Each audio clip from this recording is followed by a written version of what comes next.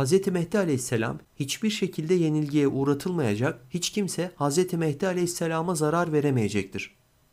Hz. Mehdi Allah'ın izniyle tüm yeryüzüne İslam ahlakını hakim kılacak, büyük ve ihtişamlı bir ilmi mücadele yürütecek ve görülmemiş bir başarı elde edecektir.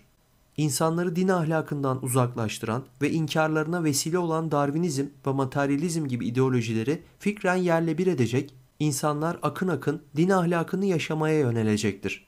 Bu büyük mücadelesi sırasında Deccaliyet Hz. Mehdi aleyhinde sayısız tuzak kuracak, onu haksız yere hapse atacak, iftiralarla yıldırmaya çalışacak, hatta canına dahi kast edecektir.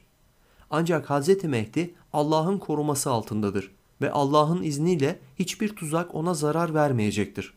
Zahiren zorluk ve sıkıntı gibi görünen durumlar dahi Hz. Mehdi Aleyhisselam'ın daha da güçlenmesine, dünya çapında etkisinin daha da artmasına vesile olacaktır. Hz. Mehdi Aleyhisselam asla yenilgiye uğratılamayacak, Allah'ın izniyle hep galip gelecektir. Hz. Mehdi Aleyhisselam'ın yenilgiye uğratılamayacağını işari anlamda haber veren ayetlerden biri de şöyledir. Kovulmuş şeytandan Allah'a sığınırım. Eğer Allah size yardım ederse artık sizi yenilgiye uğratacak yoktur. Ve eğer sizi yapayalnız ve yardımsız bırakacak olursa ondan sonra size yardım edecek kimdir? Öyleyse müminler yalnızca Allah'a tevekkül etsinler.